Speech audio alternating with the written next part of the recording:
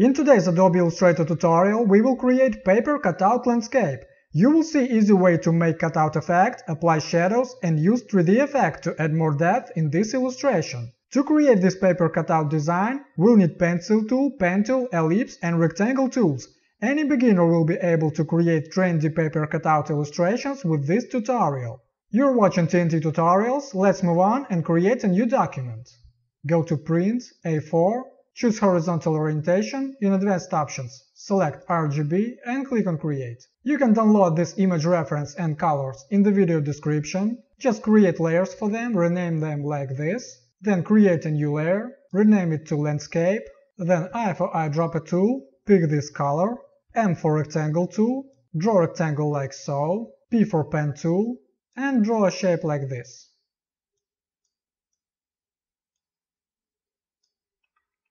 Then A for direct selection tool, and fix points like this.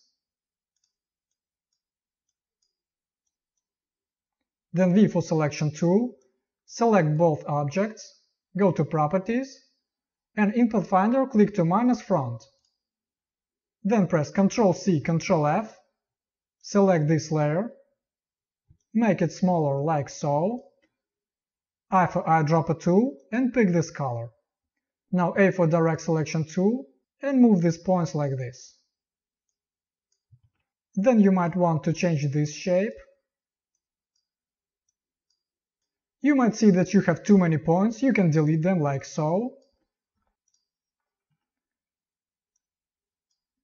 Now with this layer selected, Ctrl C, Ctrl F, select this layer, I for eyedropper tool and pick this color. Make the subject smaller, like so. You might want to change the shape. After this, create a new layer, bring it here. I for eyedropper tool, pick this color, P for pen tool, and within this layer, draw a shape like this. V for selection tool, deselect this object, select it again, Ctrl C, Ctrl F. In Properties panel, click on Flip along horizontal axis, move this copy here, bring it down, and pick this color. Alright, A for Direct Selection tool, select these points, and move them like so. I will move these shapes just a bit, like this.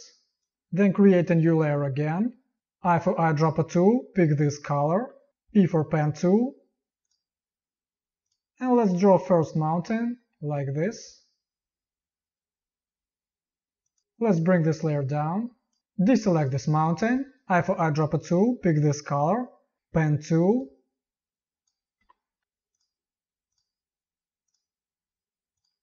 Now V for selection tool, deselect this object. Pick this color. Pen tool. And let's draw a shape like this. Connect these points, go to Properties panel, click on Opacity, and change Mode to Multiply. Then change Opacity to 90%. If you need to change shape of this layer, A for Direct Selection tool, and move points.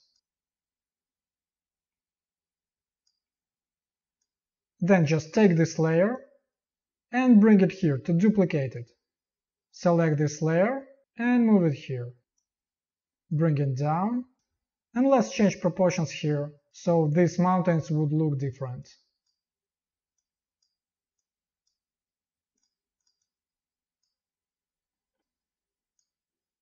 Alright, let's make these mountains just a little bit smaller, like so. Place them here. Drag this layer here to make another copy. Select it. Move it like so, and drag it down. Let's change proportions here. I will delete this point, P for pen tool, and click on this point. Let's bring shadow here.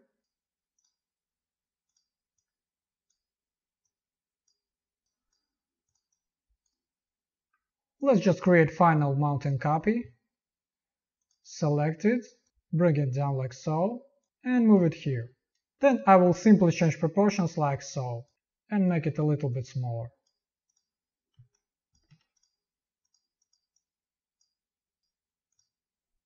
Alright, so let's now select here each mountain and group it.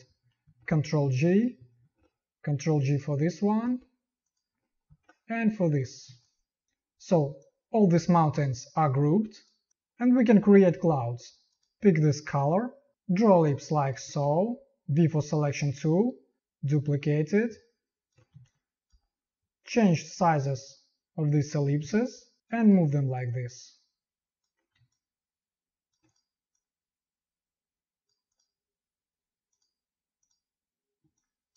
Alright, now select these two, go to Properties panel and click Vertical Align button. P for Pen tool, click here, click here, and create a shape like this.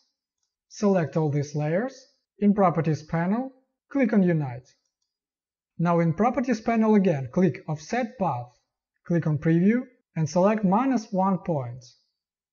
Select this copy, double-click on Gradient tool, select Linear, just drag it like so, place white marker somewhere here, and this one here. In Properties panel, change opacity to 5%. Select both layers and group them. I will close this gradient panel. We won't duplicate this cloud for now, we will do it just a little bit later. I for eyedropper tool, pick this color, L for ellipse tool, draw ellipse here, Ctrl C, Ctrl F, make this one smaller, double click for gradient tool, select linear, drag it like this, I will move this marker just a bit, like so, then double click on this dark marker, select RGB here, Go to swatches and pick some orange color, like so. Now click on this white marker and change opacity to 0. Go to Properties panel, click on Opacity, change blending mode to Multiply, select both layers, Ctrl G to group them.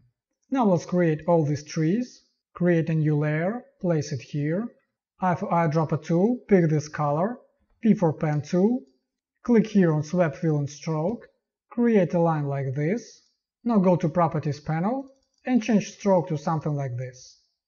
Now select Width tool, it's over here, and change width to something like this. Then create two branches, one here and another one here. Select them both, change width to something like this, then width tool again,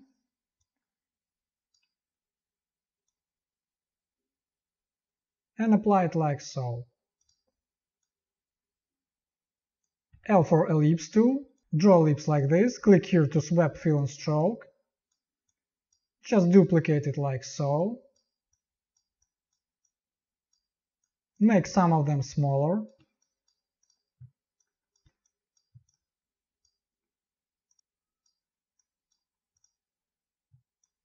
select this layer and duplicate it. We will create another tree right now. You can delete some ellipses to make changing easier.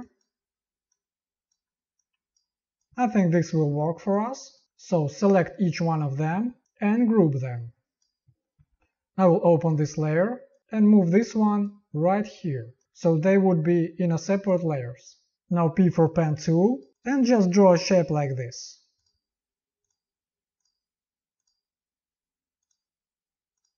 Alright, now zoom in, A for direct selection tool and change proportions.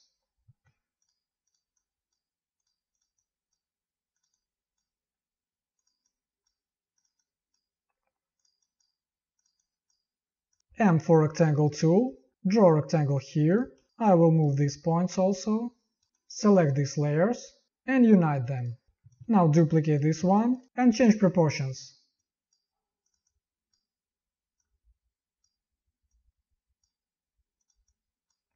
Just like so. I will open this layer group and will separate all these layers. Pick pencil tool, draw grass like this. You can release pencil tool and then continue to draw it like so.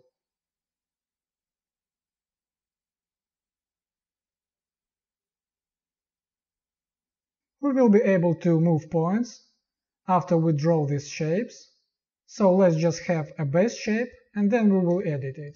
P for pen tool, click on this point, click here, here and connect them.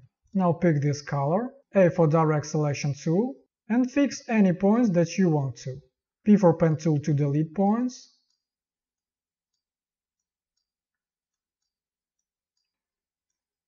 I think I will leave it as it is. I will change shape of this layer just a bit, like so.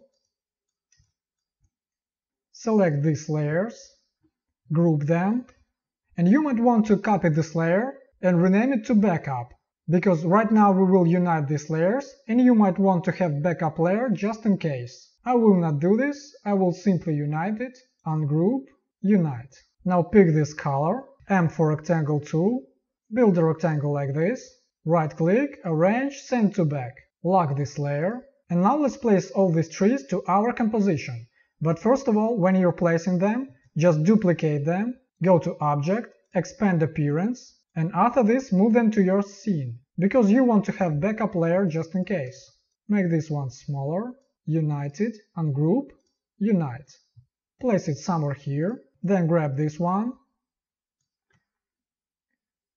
Object, expand appearance, ungroup, unite. Pick this color for it, make it smaller, and place it somewhere here. Then duplicate this one, right here, make it smaller. Now this one, pick this color, bring it down, duplicate it again, like so. Change proportions if you want to. Now let's duplicate this one over here, make it smaller, pick this color, and build a lot of copies. Like so. Now scale them, scale them randomly.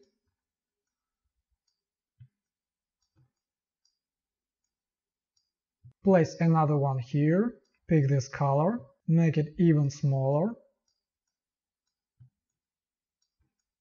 Let's create a few more copies. And now let's select these layers. Go to Properties panel, click on Unite. The same here with these ones, select all of them, unite them, place them down, like so. The same here, unite. Let's do the same over here. Unite these ones also, place them down. I will simply delete these layers, you can leave it if you want. If you see some empty layers, you can just delete them. And also remember that before uniting these objects, just like I did, you should make copy of these ununited layers and just make them invisible, because you might want to change something later and it would be difficult to do this after you united these layers. Select this layer, Effect, 3D, Extrude and Bevel. Go to Front, enter minus 2 here and minus 2 here. Select 20 points in this field and then just click OK. Object, Expand Appearance. Now this is not 3D object anymore. Right-click, ungroup. Then double-click on this group, open it here, select this layer and make it invisible. Now we can see unnecessary layers. Just delete them. Select these ones and press Ctrl G. Now we have only two layers here, so make this one visible again and double-click somewhere on the workspace to exit this mode. Now let's make pick and color easier Ungroup this layer for now, pick this one, and apply this color. Now go for this group, pick this color also, but let's make this color brighter. Double click here on Fill, and pick bright color. Now let's select them here, and group them. Now let's do the same with this layer. Effect, 3D, Extrude and Bevel. Click on Preview, select Front, enter minus 2 here, minus 2 here, and 20 points in this menu. Click on Preview again. I will click OK. Now Object, Expand Appearance. Right-click, Ungroup. Then double-click on this group, open it, make this layer invisible, delete all unnecessary layers, select these ones, and press Ctrl G. Now make this layer visible again, exit this mode, right-click, ungroup, pick this color, select this group, pick the same color here, and apply brighter color. Click OK.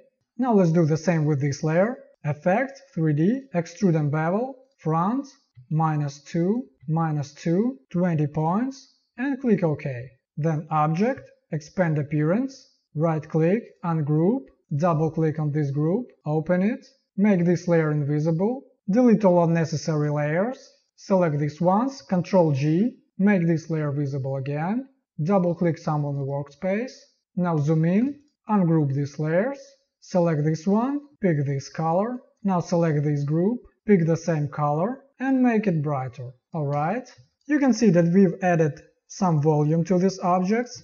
Let's add shadows, but first group these ones. Now let's apply shadows. Select all these layers.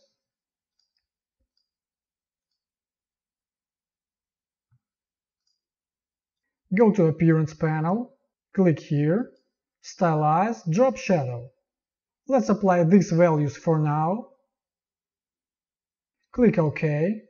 And after this you can copy layers that you want.